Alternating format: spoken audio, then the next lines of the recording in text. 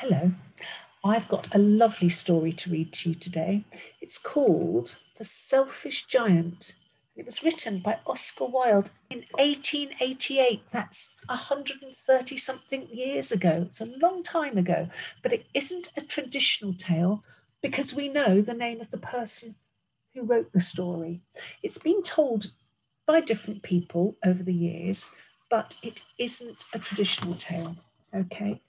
And it's all about a very selfish giant, exactly as the title says. Now, selfish means you're mean and you don't like sharing. And a giant, you probably know, is someone exceptionally tall, really, really massively taller than normal human beings. There aren't really giants in the world. There are very, very tall people, but giants are, well, you can see in the picture how much bigger the giant is to the children in the pictures. So let's see what it's all about. It's actually got a bit of a sort of moral tale, they call them. It means you can learn something about human beings and how human beings can sometimes forget how to do their best or be their best. So let's see. Every afternoon, as they were coming home from school, the children used to go and play in the giant's garden.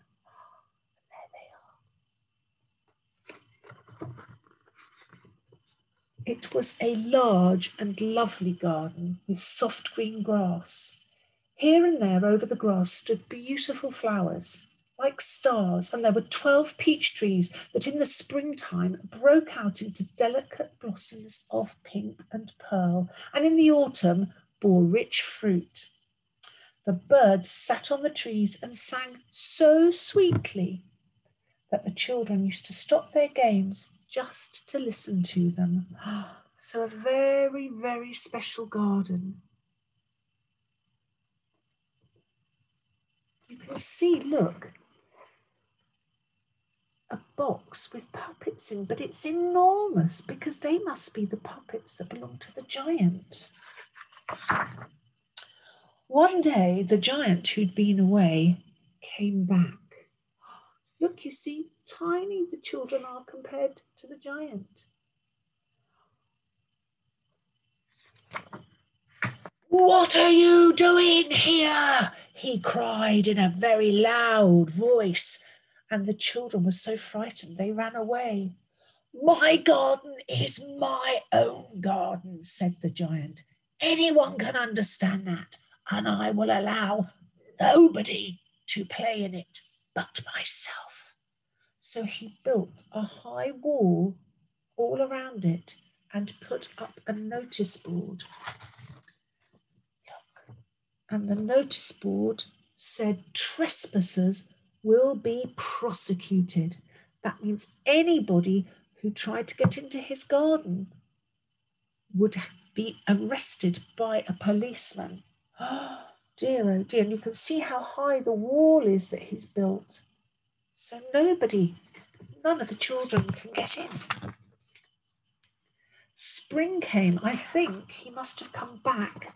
You, well, you, what time of year do you think he arrived back? Hmm. I, I agree. I think it looks like autumn because it's all golden and brown and the leaves are starting to fall off the trees, aren't they? Most of the trees are almost completely bare of leaves. Anyway, spring came and all over the country there were little blossoms and little birds. Only in the garden of the selfish giant it was still winter. The birds did not care to sing in it, as there were no children, and the trees forgot to blossom. Doesn't it look sad? The only people who were pleased with the snow and the frost Spring has forgotten this garden, they cried, so we can live here all year round. The snow covered up the grass and the frost painted all the trees silver. And then they invited the north wind to stay with them.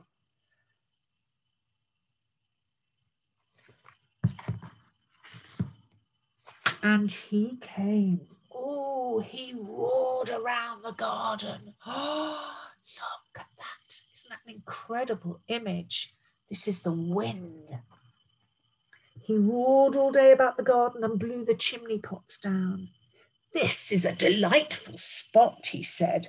We must ask the Hail on a visit. Hail is huge, big, rock like boulders of frozen water. So ice, but huge, huge boulders. So the hail came and down into the garden. Look, this is the hail here. Can you see?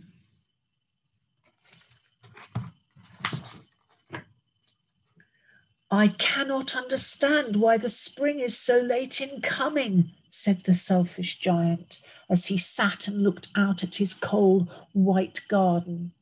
I hope there'll be a change in the weather. But the spring never came, nor the summer.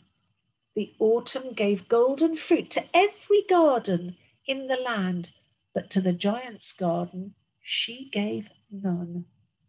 He is too selfish, she said. So it was always winter in the giant's garden. Look at that illustration, isn't that amazing?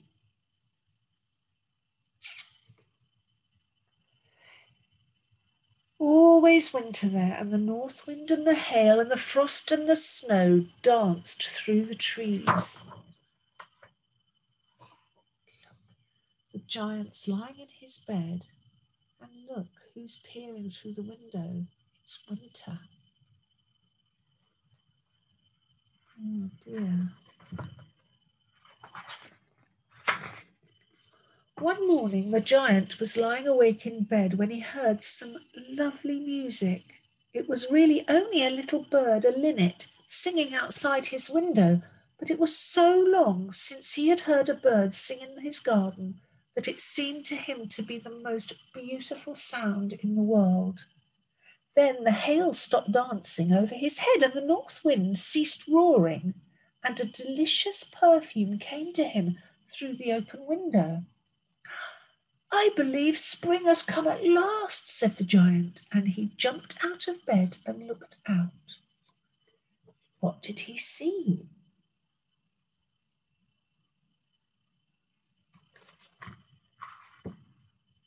he saw a most wonderful sight. Through a little hole in the wall, the children had crept in, and they were sitting in the branches of the trees.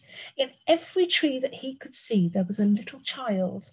And the trees were so glad to have the children back again that they had covered themselves with blossoms and were waving their arms gently above the children's heads. The giant is seeing all this You can see the garden starting to come back to life and the little children who'd crept in through the hole. Only in one water, one corner, it was still winter. It was the farthest corner of the garden, and in it was standing a little boy. He was so small that he could not reach up to the branches of the tree, and he was wandering all around it, crying bitterly. The poor tree was still quite covered with frost and snow, and the north wind was blowing and roaring above it. And the giant's heart melted as he looked out. How selfish I have been, he said. Now I know why the spring wouldn't come here. He crept downstairs and opened the front door and went out into the garden. And there's the little boy, the only one who can't reach the branches of the tree. And that area is still winter. But when the children saw him, they were so frightened that they all ran away. And oh, and the garden, the whole garden became winter again. Only the little boy did not run, for his eyes were so full of tears he did not see the giant coming. And the giant stole up behind him and took him gently in his hand and put him up into the tree. And the tree broke at once into blossom, and the birds came and sang in it. And the little boy stretched out his two arms and flung them round the giant's neck and kissed him. And the other children, when they saw that the giant was not wicked any longer, came running back, and with them came the spring. And this is the giant as he realizes that it's not much fun being selfish because it means you miss out too. It is your garden now, little children, said the giant, and he took a great axe and knocked down the wall. Look, can you see one of the children's up on his shoulder? And when the people were going to market at 12 o'clock, they found the giant playing with the children. In the most beautiful garden they had ever seen. And that is the end of the story. Look at the fun the children are having and how happy the giant is and how beautiful his garden is. That is the end of the story, The Selfish Giant. Now, have a think about what that was all about.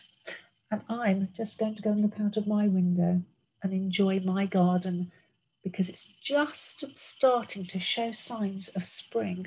It's not actually my garden, but I can see gardens out there. So I'm going to go and look out and see if I can start to see the little tiny green shoots on the trees where the leaves are going to grow back. But I think I can definitely see them. Have a look out of your window if you can and see if you can see any signs of spring.